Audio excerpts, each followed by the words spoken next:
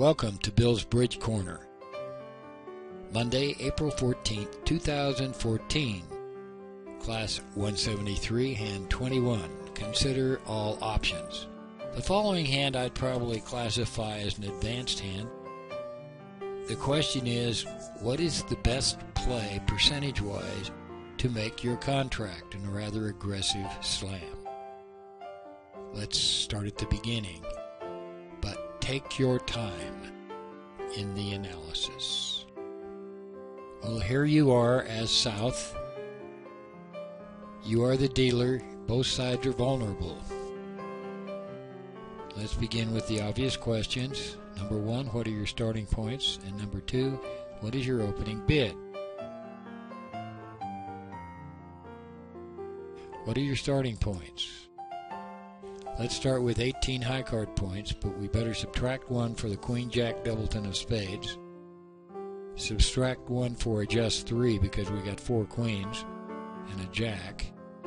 But we can add two points for the six diamonds, and we can add an additional point for a quality diamond suit.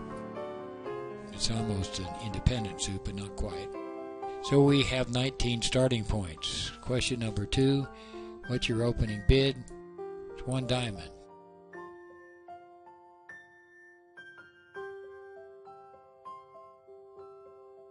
More question. The bidding proceeds. Pass. Partner bids a spade. Goes pass. You're up for another bid. Question are what is your second bid and are there other possibilities? And I guess there are. My choice would be two no trump. You have all suits stopped. Yes, you have a six card diamond suit, but it's basically balanced. You have all suits covered. Are there other possibilities? Yes, some people might bid three diamonds. I prefer two no trump. It's more descriptive.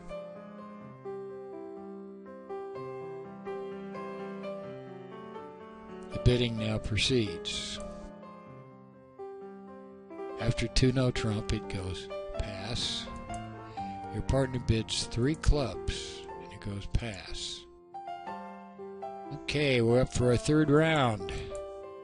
What is partner asking about with three clubs? And based upon that, what is your third bid? I hope you and your partner have an understanding. This is similar to a new minor forcing. You can call it Stayman, check back Stayman, or whatever term you want. Partner is asking for major suit information. If you have three card spade support, you should raise him. If you don't, but you have four hearts, you should bid four hearts. You should bid hearts, three hearts. If you have neither one, bid a more descriptive bid. In this case, the choice of my third bid is three diamonds. I can't raise the spades and I can't bid the hearts.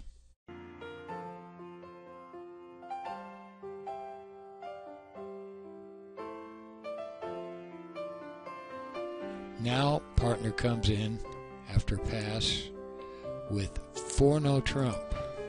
It goes pass. Okay, what is partner's bid of four no trump? And based upon that understanding, what is your call? Well, I hope again you and partner have an understanding. What is partner's bid? I take this bid as quantitative, asking you to go to six with a maximum. And I have a maximum. I have a good six card diamond suit, and I'm going to go to six. So I bid six no trump. And some people would bid six diamonds, it might be safer.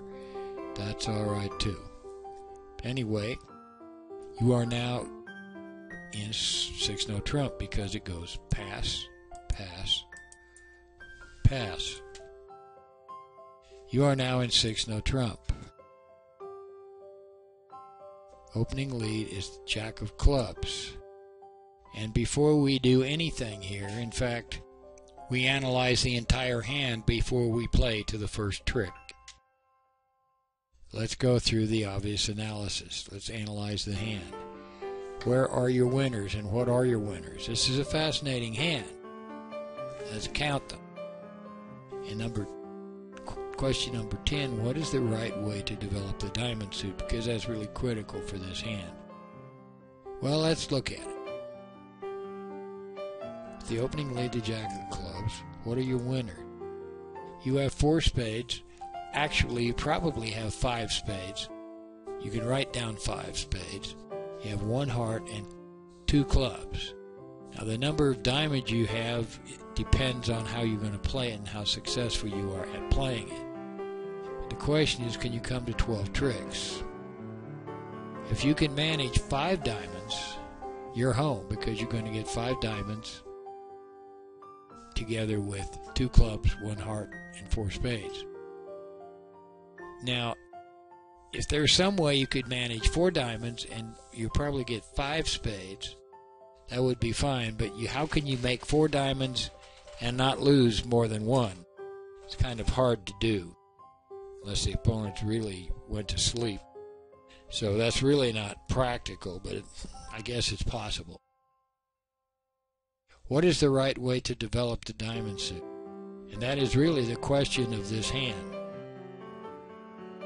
Let's analyze the possibilities.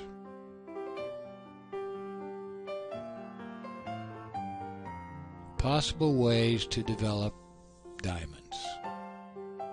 The first choice would be to win the club in dummy and immediately take a diamond finesse to the queen. If we do that and the finesse fails, West will probably return a heart with spades still blocked, we have a real problem, and unless the diamond split 3-2, we're probably going to go down. Second choice is when the hand in your hand with the ace, you keep the king of clubs as an entry and cash the ace of diamonds. Several possible things might happen.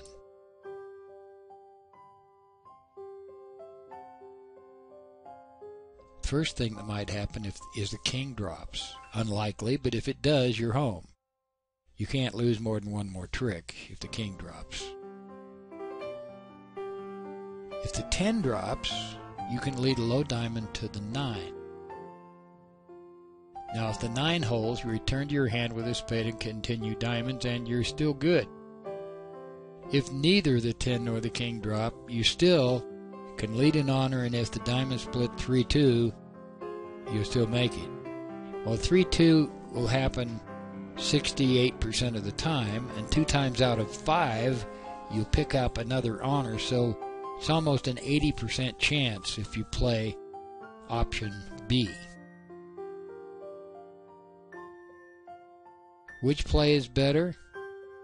With option A, First of all, you couldn't ever cash five spades because you can't get over there again. The other problem with option A is even if the diamond finesse holds, West may be playing games with you and hold off on the king. Then you have to waste an entry to go over to do a repeat finesse. You might end up being the, the cat who didn't catch the canary. With option B, you keep option 1 alive, and also there's a possibility that you could drop a singleton king or jack of hearts, which could make you another trick as well. That's another possibility, but it's a far fetched possibility. But the answer is option B is the best option. Let's play out option B and see how it goes.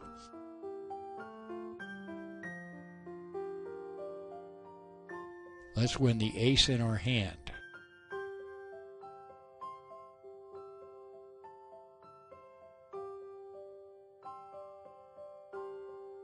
Now let's play the ace of diamonds. And, of course, we set this up so it would happen. The 10 falls. Now what do we do? We lead a 2 of diamonds. Of course, uh, east, west is going to show out.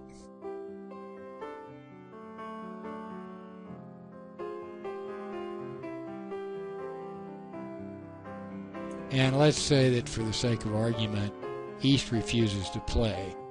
I suppose at this point we should show all four hands, so let's do that. We're still fine. We lead a spade to the queen. Or the jack, it doesn't matter. And now we lead out the diamonds. At some point in time, this trick or the next,